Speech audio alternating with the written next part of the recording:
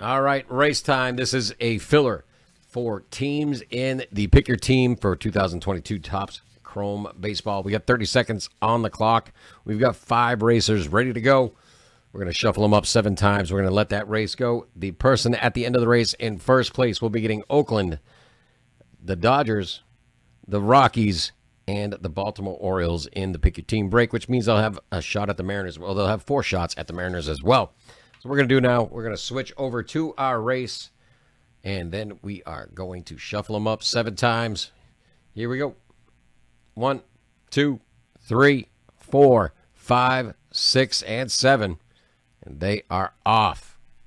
Good luck, all.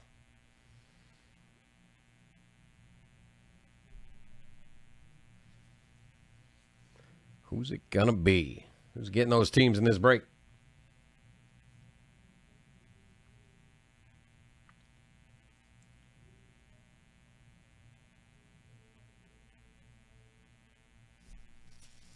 Got down to three, two, one.